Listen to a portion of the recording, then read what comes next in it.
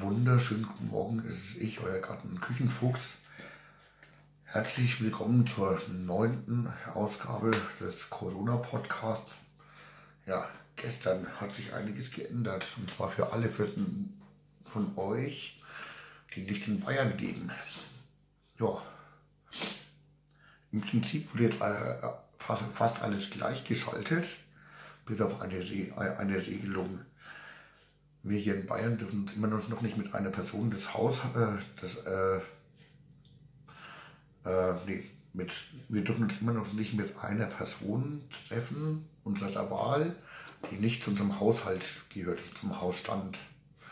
Oder wie, wie man das auch immer nennen mag. Aber im Prinzip sind jetzt, ist jetzt all, alles weitere zwischen den Bundesländern gleichgeschaltet. Sport in, in Vereinen, wie zum Beispiel Jogging, ist erlaubt. Spazieren gehen ist erlaubt. Einkaufen gehen ist erlaubt. Hm.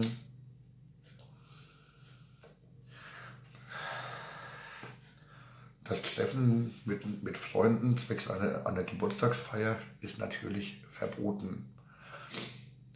Ähm, das Treffen bei einer Karaoke-Party ist natürlich verboten. Ja. Äh, was soll ich noch, noch an Beispielen? Der Gang zur Arbeit. Wenn, wer noch arbeiten darf, darf natürlich arbeiten gehen. Hm. Ist jetzt wieder ein super Deutsch. ja.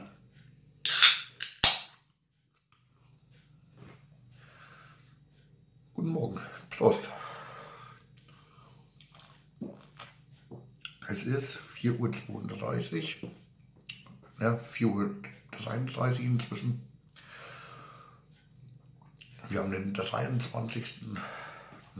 Äh, März 2020.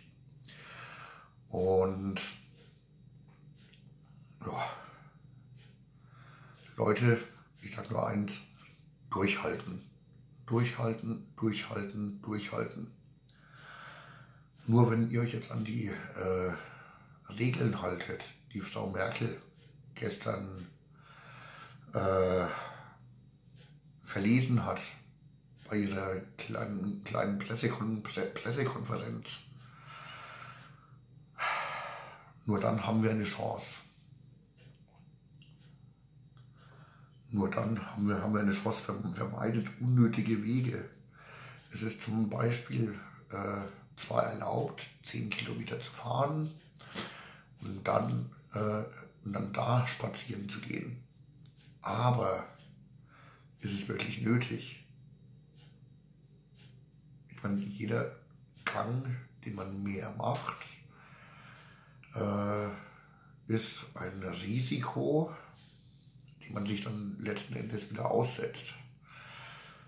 Das sollte man sich dann überlegen, ob man das äh, dann, dann wirklich machen muss, auch wenn man es machen darf. Weil jeder Gang ist natürlich ein Risiko, sich mit Corona neu zu infizieren. Ich zum Beispiel, äh, ja, äh, ich zum Beispiel bin seit, im Prinzip handhabe ich das Ganze schon so, seit äh, der Katastrophenfall ausgerufen wurde, hier in Bayern.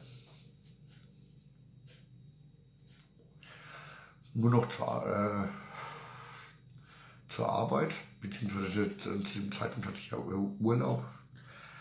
Aber ich war seit der Katastrophenfall ausgerufen wurde, nur noch einkaufen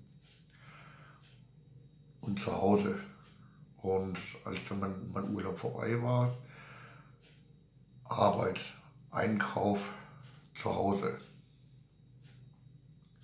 Ich meine, gut, wir, wir, also die Hobbygärtner, wir haben da einen gewaltigen Vorteil.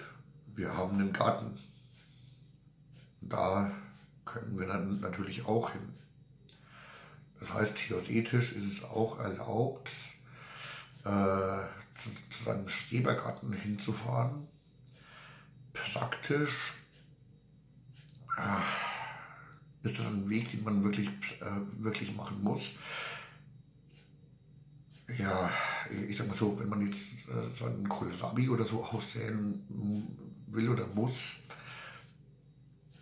wenn man seinen Garten auf Vordermann bringen muss, dass man Mitte, Ende Mai, äh, Mitte, Ende April meine ich, dann zum Beispiel die äh, Zucchini, die Kürbisse ins Freiland sehen kann, dann muss man das natürlich in Kauf nehmen. Es ist, es ist nicht verboten, aber es ist, äh,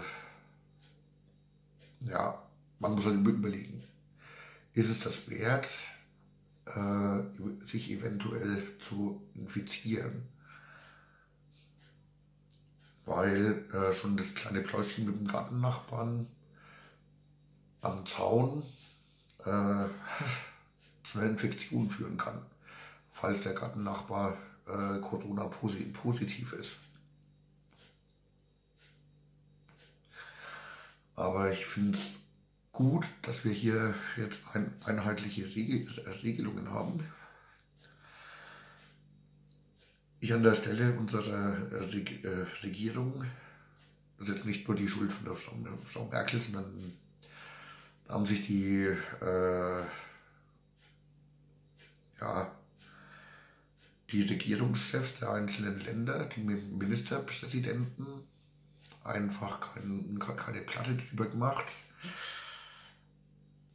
Ich persönlich hätte ein Aus, äh, Ausgeh, eine Ausgehsperre verhängt über ganz Deutschland, weil da sind so viele Idioten unterwegs, die, äh, die sind unverbesserlich, die werden auch jetzt noch unver unverbesserlich sein.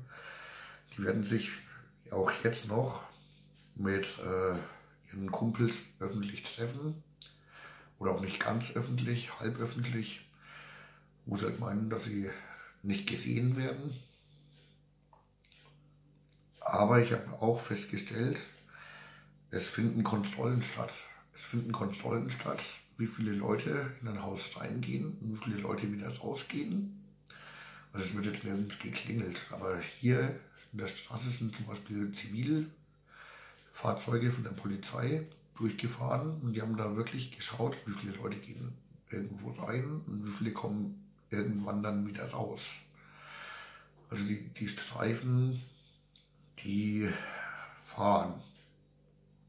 Und wenn ihnen was Spanisch vorkommt, wenn zum Beispiel anstatt äh, haushaltsübliche Mengen an Menschen, entschuldigt den Ausdruck, wenn mehr als haushaltsübliche Menschen reingehen und wieder rauskommen, dann äh,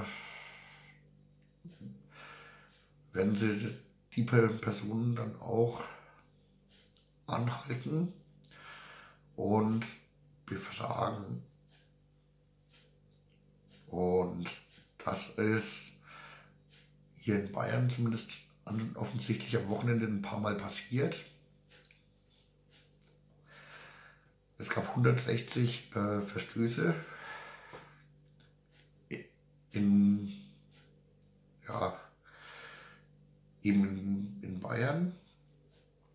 Und das ist, äh, wenn man bedenkt, dass allein äh, 100 davon in München waren oder, oder waren es 80, äh, nagelt mich da, da jetzt nicht, nicht drauf fest. Allein in München unter anderem wurde in Bayern eine Shisha-Bar hochgenommen, die, die die Fenster abgedunkelt hatten, dass niemand reinschauen kann. Ist natürlich verdächtig. Zack, war die Polizei auf, der, äh, auf dem Plan. Es wurden private Partys hochge hochgenommen und die Beteiligten an diesen Partys, sowie auch alle Beteiligten, die in der Shisha-Bar waren, werden hart bestraft. Denn das ist kein Bagatelldelikt. Das ist eine Gefährdung der Sicherheit äh, der Menschen, mit denen man zu tun hat und sich selbst. nur ein, ein Infizierter reicht, um alle anderen anzustecken, um alle anderen zu infizieren. Und das Ganze, die ganzen Auflagen, die wir als Volk jetzt bekommen haben, die dienen einfach, einfach nur dem Zweck, dass, äh, ja, dass die Infek Infektionsketten durchgerissen werden, durchgebrochen werden. Und wir dann äh, einfach die neue Infektionsrate auf null runterbekommen. Sobald das über ein paar Tage der Fall ist, sobald die Neuinfektionsrate ein paar Tage lang auf null ist, wird das ganze Zeug wieder aufgehoben und wir können uns wieder vollkommen frei bewegen. Und äh, das passt dann schon. Also Leute, seid vernünftig. Seid einfach vernünftig, achtet, achtet auf euren Geldbeutel. So ein Verstoß, Verstoß kostet bis zu 25.000 Euro pro Person oder wahlweise pro Person zwei Jahre Knast.